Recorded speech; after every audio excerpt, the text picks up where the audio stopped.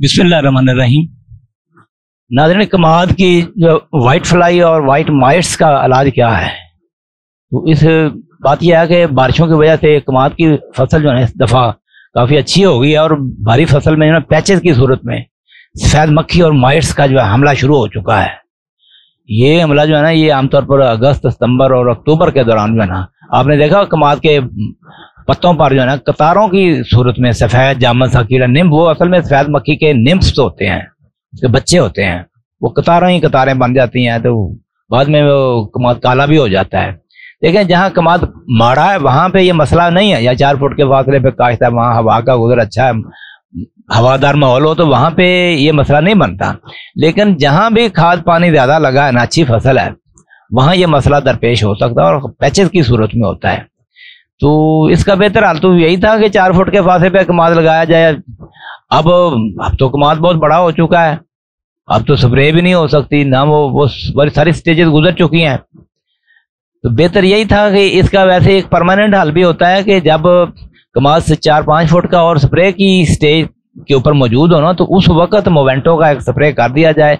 तो इब्तदाई नाकुलम जो है ना, इसका, वो खत्म हो जाता है बाद में इसका अटैक नहीं होता। लेकिन अब वो स्टेज गुजर चुकी तो अब क्या करना चाहिए? याद रखें कि इस वक्त सवाए इसके, के ड्रोन के साथ इसके ऊपर, कमाद के ऊपर स्प्रे की जाए, कोई इसका हल नहीं है। बल्कि अगर पूरी तरह पेस्ट कर ली जाए और देख लिया जाए कि साथ अगर माइट्स भी मौजूद हैं तो ओबिरान भी इसके साथ ही मिक्स कर ली जाए।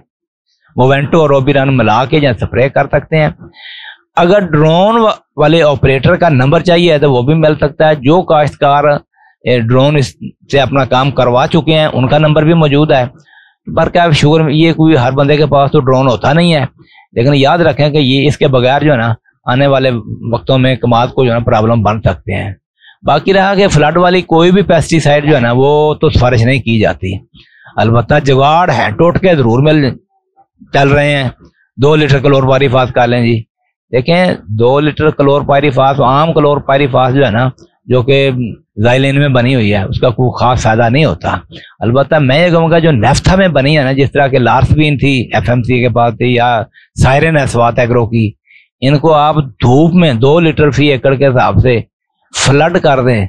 आप देखेंगे किस तरह आराम आता है। नब्बे फ़ीसद तक आपको आराम, इस तरह फोर एट या थाईमेट जो ना, इसको भी बड़ी एहतियात के साथ सुबह सुबह जो ना, ये फ्लड किया जा सकता है, लेकिन बहरहाल ये केयरफुली करनी चाहिए, मैन किलर है बाकी रहा ये जो पायराथ्राइड लैमडा या बाइफेंथ्रीन वगैरह एक एक लीटर फ्लड करना, इसका कोई खास फ़ायदा नहीं है। ये क्योंकि ये ज़्यादातर कॉन्टैक्ट एक्शन है।